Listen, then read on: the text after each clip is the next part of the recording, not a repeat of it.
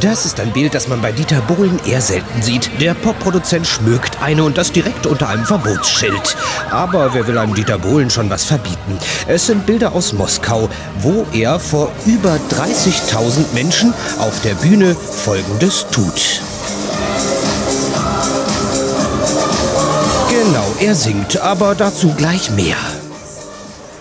Einen Tag vorher kommt Dieter Bohlen natürlich mit seiner Freundin Karina vor seinem Moskauer Hotel an und ist bester Laune. Irgendwie fühlt sich der Superstar aus Tötensen hier fast wie zu Hause.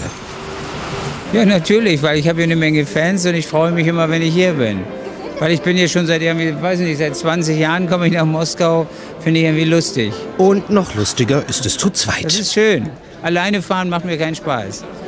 Dass Dieter Bohlen auch in Moskau viele Fans hat, darf man ihm durchaus abnehmen. Und es gibt noch andere Parallelen zu Deutschland, denn manchmal muss er sich auch hier verstecken. Vor dem Moskauer Hotel hat sich eine verwirrte Anhängerin des Produzenten eingefunden, Shana aus Weißrussland. Wissen Sie, ich bin seine echte kosmische zweite Hälfte und er weiß das natürlich auch. Ich wollte mich mit ihm schon 2002 treffen, wir konnten uns aber nicht treffen wegen seiner Freundin.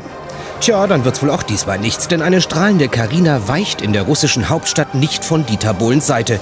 Auch nicht, als der am nächsten Tag auf dem Weg zur Bühne ist. Soll dieser Auftritt jetzt womöglich ein heimliches Auslandscomeback von Dieter Bohlen als Sänger werden?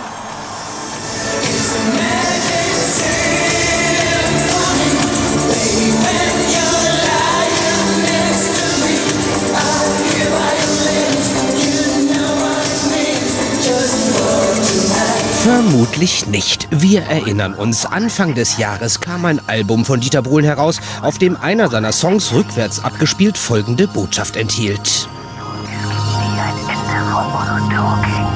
Ein Scherz, denn damals erklärte Dieter zu seiner Zukunft als Sänger und zu einem dritten Comeback von Modern Talking das hier. Ich finde, ganz ehrlich, also bis auf Ausnahmesituationen gehört so ein alter Sack wie ich nicht mehr hinter äh, Mikrofon und singt dann Disco-Songs. Und Moskau ist scheinbar eine Ausnahmesituation.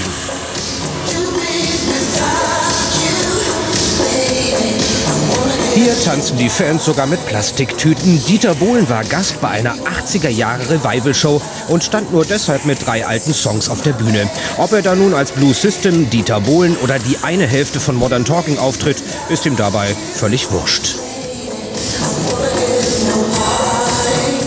Du, ich mache das, was die Leute wünschen. Und die meinten, ich soll diese Titel singen und deshalb habe ich die gesungen. Ich hätte aber sonst, also vielleicht, wenn ich das nächste Mal komme, singe ich ein paar neue Titel. Eigentlich nicht notwendig, denn die alten Songs laufen in Moskau wie verrückt, sogar wenn Bohlen sie nicht singt, sondern nur geschrieben hat. Wie für CC Catch zum Beispiel, die auf dem gleichen Konzert auftrat. Eine persönliche Begegnung zwischen den beiden gab es auf dem Konzert allerdings nicht, was wohl auch daran liegt, dass es mal einen ziemlich bösen Gerichtsstreit über die Namensrechte an der Marke CC Catch gab. Trotzdem ist die Sängerin Dieter Bohlen für ihre früheren Erfolge bis heute dankbar.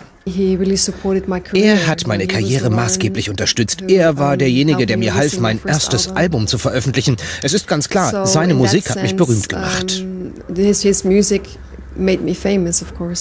Und im Gegensatz zu ihr hat Dieter Bohlen immer noch Erfolg. Bis man ihn allerdings das nächste Mal wieder singend auf einer Konzertbühne erleben wird, dürfte es wohl etwas dauern, denn er hat im Moment ganz klar andere Schwerpunkte. Ja, ich mache im Moment mehr Fernsehen. Also ich konzentriere mich in Deutschland eben, äh, und ich bin ja hier exklusiv bei RTL in Deutschland und ich mache äh, Deutschland sucht den Superstar. Und ähm, das ist für mich im, im, Moment wichtiger, zu machen Fernsehen. Ne? Na, das freut uns doch, auch wenn es für Dieter Bohlen und seine Karina bedeutet, dass Moskau nicht viel mehr als eine Stippvisite ist. Dabei wäre Dieter sicher gern länger in der russischen Hauptstadt geblieben. Ich war heute auch wieder auf dem Roten Platz und ähm, das war sehr schön. Das hat mir sehr, also als das Gumm, die Lichter alle angingen, das war sehr, sehr schön für mich. Doch jetzt muss er erstmal wieder zurück. Russlands scheinbar ewiger Superstar Dieter Bohlen sucht demnächst wieder neue Superstars bei uns.